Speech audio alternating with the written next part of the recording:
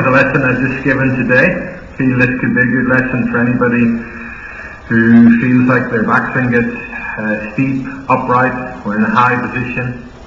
Anybody who feels like they need to improve the connection between their arms and the body, the relationship between the way the body works and the way the arms work.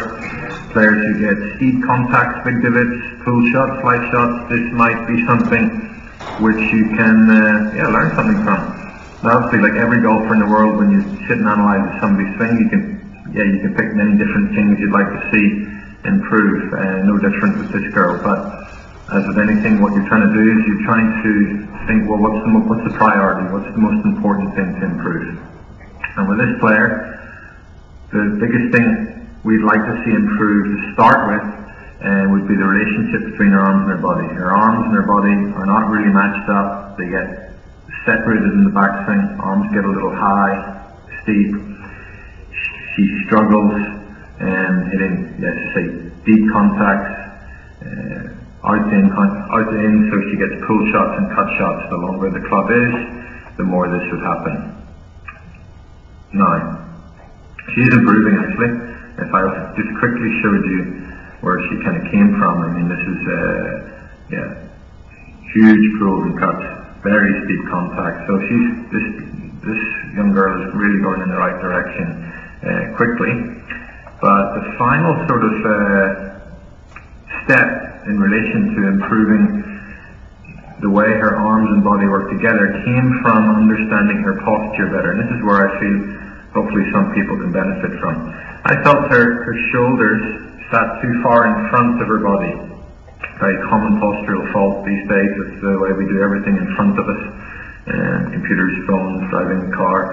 Uh, shoulders come forward. We get tight here in, the, in our chest. And we get the muscles here in the back of our shoulder, in behind our shoulder blades, and between our shoulder blades become weak. Shoulders sit forward. That gets our arms in front of our body. At setup, we lose the connection even at setup, and it's hard to maintain it during the swing. We did a few little postural exercises, but the main point here was I asked her to pull her shoulder blades together, activating the muscles in behind her shoulder blades and between her shoulder blades. And yes, it felt a little bit awkward to her, but that pulls her shoulders back more in line with her ears. And then simply all I asked her to do is to try to keep those muscles activated, keep that feeling during the swing. And you can see that really sort of finished the job off uh, in, yeah, improving the relationship between her arms and her body.